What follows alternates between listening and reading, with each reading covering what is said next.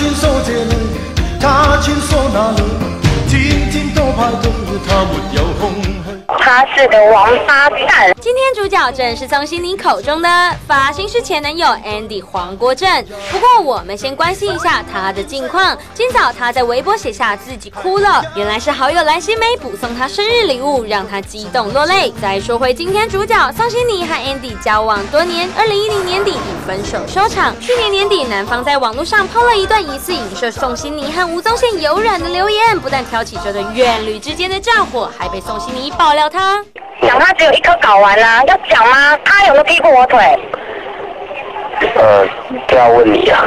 其实早在他和宋心妮交往时，就被一周刊拍到他夜会某选美辣妹。去年底他和宋心妮隔空交战时，苹果也直击他带了脸大奶也大的梅亚回家交流。但短短一个月，大脸妹似乎已经 out 了。苹果上周直击 Andy 又和另一名长发妹现身东区平价烧烤店。哎，这妹乍看没端详出什么特色，就姑且称她豹纹梅亚。她大概是真饿了，低头狂吃，放着豹纹梅亚在一旁发慌。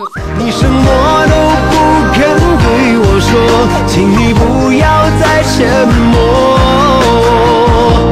Andy 大概是听到豹纹梅亚的心声了，总算抬起头和他抬杠。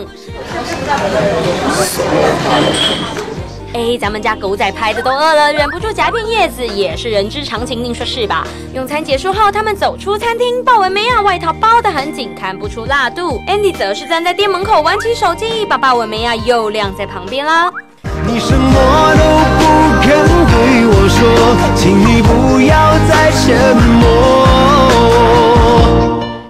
他还自顾自吞云吐雾。哎，还记得他上次接受苹果访问，谈到宋心妮时曾说。害我一直在抽烟。我听到“宋心妮”三个字就抽成两包了。对啊，重点是这天受访后，他勾着大脸辣妹回家，上周又改回豹纹眉啊，又是同一款造型哎。